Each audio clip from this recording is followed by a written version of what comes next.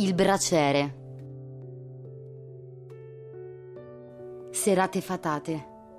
Antiche atmosfere dissepolte dal tempo, come satelliti intorno a quel piccolo sole, tra i neri tizzoni baciati dal fuoco. Fragranza di cedro ci addolciva il cuore.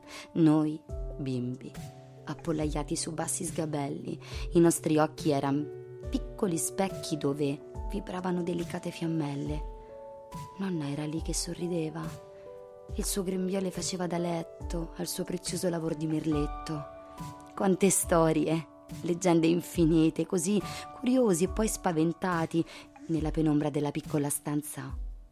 Appeso ad un pomo, il cappello del nonno diveniva di botto un bizzarro folletto, poi mille carezze e tanta letizia. Di quei giorni mi resta un tale tepore, morbidi fili di lana argentata tra i capelli raccolti su quel diafano viso.